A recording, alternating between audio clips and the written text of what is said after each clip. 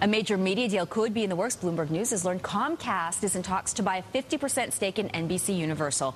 Our next guest says the likelihood of a deal is still remote. Porter Bibb is managing partner at Mediatech Capital Partners and he joins us live on set today. Porter, always good to see you. It's a pleasure to be here. So Comcast is denying reports it has a deal, but of course they're talking, right? They have admitted that they're talking, and, and so is everybody else talking to, to GE right now. So what's the likelihood Comcast ultimately snaps up NBC Universal? Well, this is the longest running shaggy dog story in the media business. It's been going on ever since Vivendi bought uh, their 20% of NBCU, and they have that window, November uh, 15th to December 10th, and nothing is going to happen until then. But GE is exploring all the options because A, uh, Vivendi has said this is not a core investment, and they have indicated for the first time that they probably will offload it. So, for this to happen for Comcast, Vivendi has to sell its 20% stake in NBCU. They either sell it to a third party, to GE, or they force GE to take NBCU public, which so, is never going to happen. Okay.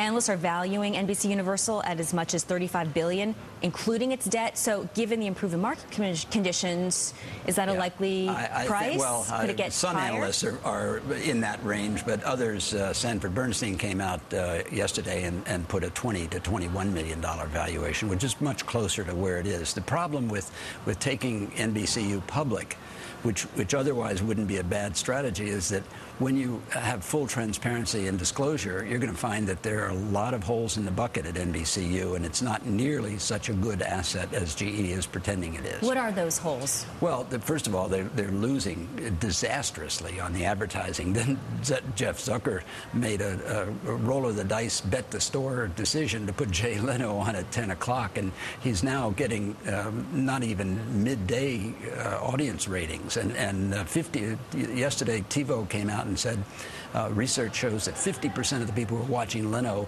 are time shifting him into Conan and other NBC shows. Oy. Okay. So, so they've got a huge gaping hole in the middle of prime time, five yeah, days Comcast a week.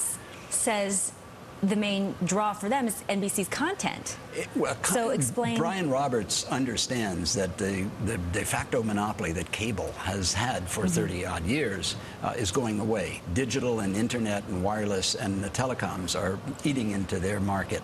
He knows that he's got a bunch of dumb pipes out there and he's got to fill them with content. So he's he's very hungry for content. So who needs whom more, Comcast or NBC? Well, I think uh, Comcast needs the NBC needs a home. NBCU is going to find itself hanging out there. It doesn't never really fit in with GE. Jack Welch loved it. Jeffrey uh, Jeffrey Immelt is trying to pretend that it has some fit. It's throwing off a little bit of cash, not enough to make much of a difference. But GE is under great financial stress right now because of GE Capital, so they will they will monetize this. Can NBCU stand alone?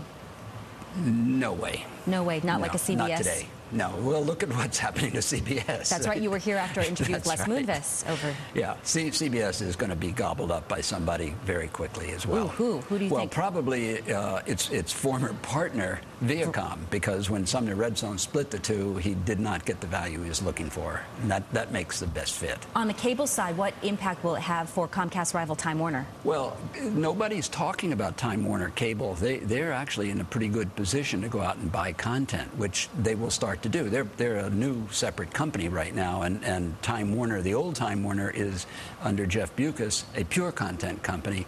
They're going to have to put some content in Time Warner Cable, or they're going to feel the heat as well.